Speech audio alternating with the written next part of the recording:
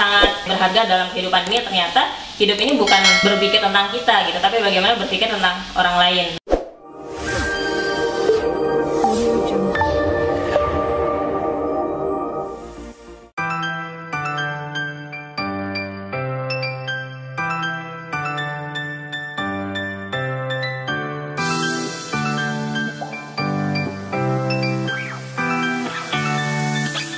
Assalamualaikum warahmatullahi wabarakatuh. Perkenalkan nama saya Firdaus dan istri saya tercinta. Hilda Dasa Indah Kami sekarang berprofesi sebagai seorang pengusaha, sebagai sepasang pengusaha. Awalnya ketika kita memulai usaha ini, kami bertemu dengan Dr. Andika. Kemudian kami belajar bisnis bareng sama beliau.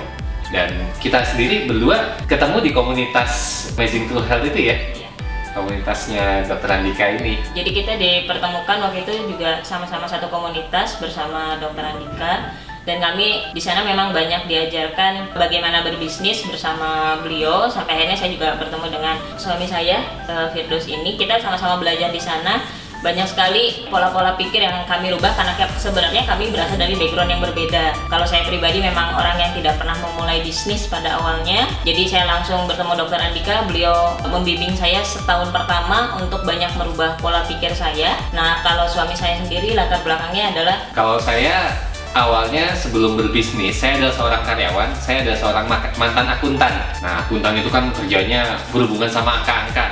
Dan ketika dibahas tentang bisnis, yang pertama kali saya lihat itu adalah ini potensinya kayak gimana? Angka-angkanya yang saya langsung tanyakan gitu.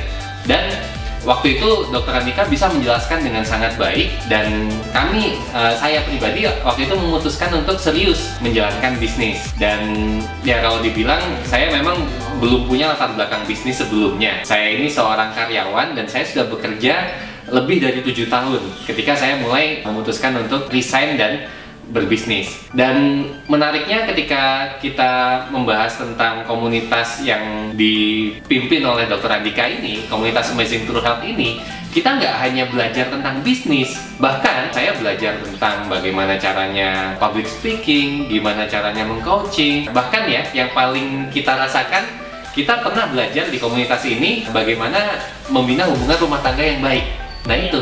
Dan ya mungkin itu juga kali ya yang bikin kita akhirnya dipertemukan di komunitas ini ya. Bicara tentang sosok Dr. Andika beliau bagi saya ini bukan hanya sekedar mentor bisnis. Beliau ini teman juga buat saya.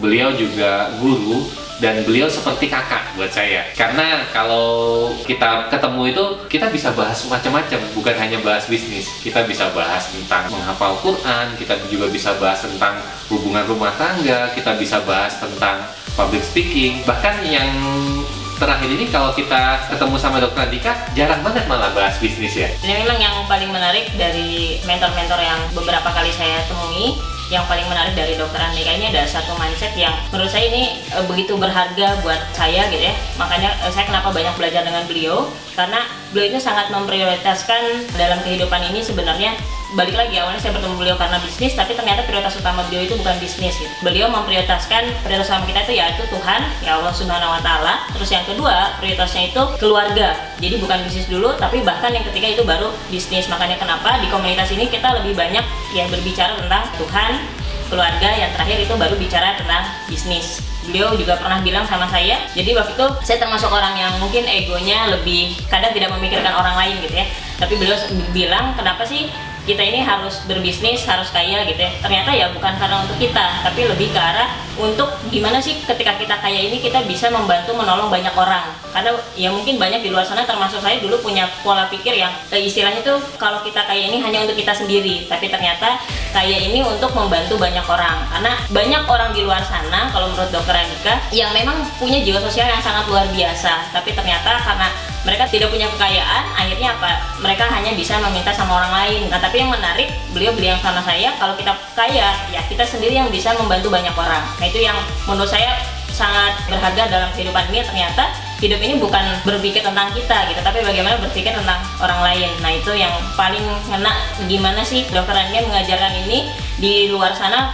Ketika saya ketemu mentor-mentor bisnis lebih banyak mengajarkan gimana kita mengumpulkan banyak uang gitu. Itu yang paling berharga buat, buat saya sih ya buat kami gitu. Dan bicara tentang bisnis, beliau itu punya pengalaman yang sangat luar biasa. Bahkan ya kalau kita ngomongin seorang pengusaha, pasti ada kalanya dia pernah di masa lalunya itu menderita kebangkrutan atau menderita utang yang sangat banyak. Nah kalau saya pribadi dulu punya utang lumayan ya bun ya? Iya.